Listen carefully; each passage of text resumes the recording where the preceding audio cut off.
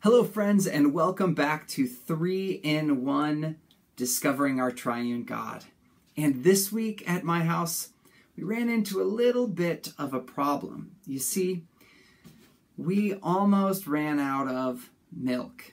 And milk is one of our favorite things to drink in our family. And so when we had a grocery pickup scheduled for Thursday, by Tuesday night and Wednesday morning, we started to realize that the amount of milk we had just might not last long enough. We might have to go for part of the day without being able to drink any milk. And so I wonder, what are some of your favorite things, uh, things you love to eat or drink in your house with your family? Those all sound great. And for me, in the morning, there's nothing better than a package of breakfast bars.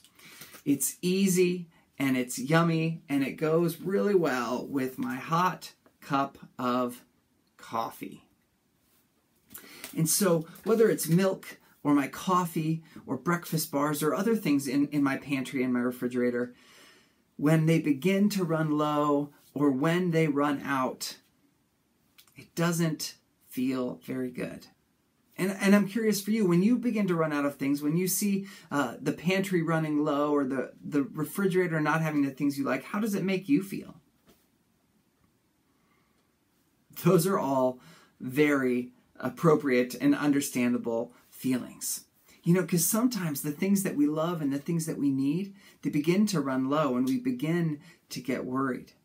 But there's always good news for us that we can go get some more at the grocery store.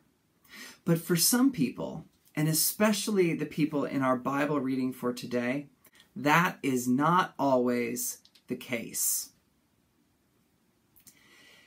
See, in 1 Kings, God was angry at his people, especially the kings of Israel, because they had stopped trusting him.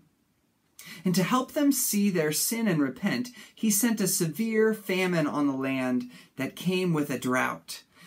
And it was so dry that even the rivers and the streams were no longer flowing. And so God's prophet, Elijah, went to the town of Zarephath and met a widow gathering sticks at the city gate. And she was out gathering sticks so she could make one final fire in which to cook the last bit of her oil and the last bit of her flour into some cakes to eat one final meal with her son before they died. And Elijah was sad, and the widow was sad, but God cares for this family in our Bible reading and provides for this family food to survive the drought and the famine.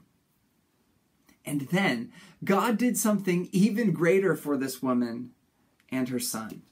And what miracle is it that God performed for this family? How was it that they had food to eat all the way through the drought? And what miracle could possibly be better than providing food in the midst of a famine?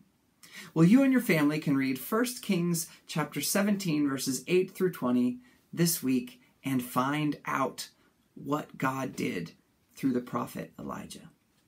And I pray that your time reading this story, talking about what happened, and working through the various activities and materials that are provided for your family this week, um, that it will be a blessing to you and your family as you learn about God's love and how God cared for those people in the scriptures and how God even cares for you today. Enjoy, have a great time, and I'll see you next time.